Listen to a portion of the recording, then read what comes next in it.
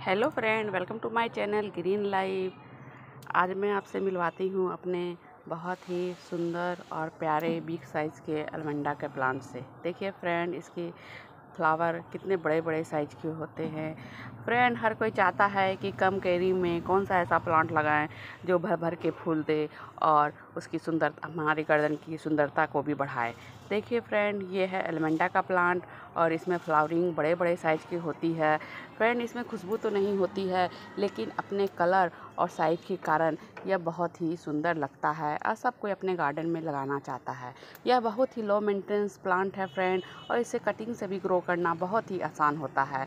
इसका pencil size के cutting अगर आप लगाइएगा तो आसानी से यह ग्रो कर जाता है। और कटिंग हमेशा चार पाँच लगाइएगा फ्रेंड, जिससे कि दो चार सक्सेस उसमें हो ही जाता है। फ्रेंड, अधिक फूल पाने के लिए हमें ऊपर ऊपर में से पिंचिंग करते रहना चाहिए, जिससे कि नए नए सूट्स निकले और फिर नए नए सूट्स में भर भर के फ्लावरिंग हो या फरवरी से लेकर के नवंबर तक अच्छी तरह यह फ्लावरिंग करने वाला प्लांट होता है फ्रेंड यह बंच में फ्लावरिंग करने वाला प्लांट होता है, देखिए फ्रेंड कितनी सारी कलियाँ बनी हुई है एक एक करके सब इसमें फिर फ्लावरिंग होगी और यह सबसे अच्छी बात इसकी ये होती है फ्रेंड, यह खिलने पर दो तीन दिन तक इसी तरह बना हुआ रहता है। ऐसे तो हिबिस्कस का फ्लावर भी देखने में बहुत खूबसूरत होता है फ्रेंड फ्रेंड, लेकिन वह एक दिन से ज़्यादा वह टिक ही नहीं पाता है, लेकिन यह तीन चार दिन तक आसानी से सर्वाइव कर जाता है इसका फ्लावर, फ्रेंड। ये फ्रेंड देखिए, पर्पल कलर का अलमंडा है, कितने बड़े बड़े साइज़ के इसके फ्लावर है। हवा भी बहुत अच्छी चल रही है, जिससे कि पत्तियाँ हवा का आनंद उठा रहा है।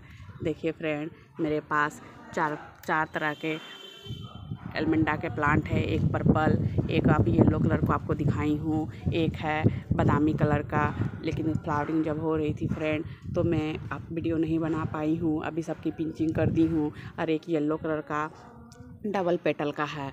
फ्रेंड ये बहुत ही लो मेंटेन मेंटेनेंस प्लांट है और आसानी से ग्रो होने वाला प्लांट है।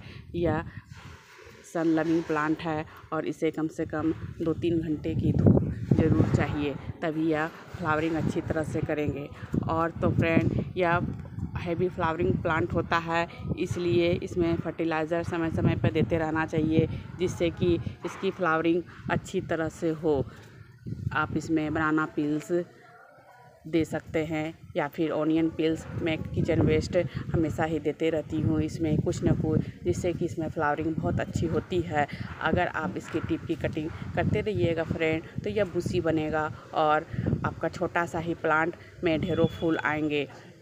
गमले के लिए फ्रेंड हमेशा पिंचिंग करते रहना चाहिए, जिससे कि वह छोटे ही हाइट में अच्छी तरह फ्लावरिंग करे। फ्रेंड अगर वीडियो अच्छी लगे तो लाइक शेयर कीजिएगा और अच्छे अच्छे कमेंट करके हमको बताइएगा कि आपको यह वीडियो कैसा लगा। Thank you friend happy gardening bye bye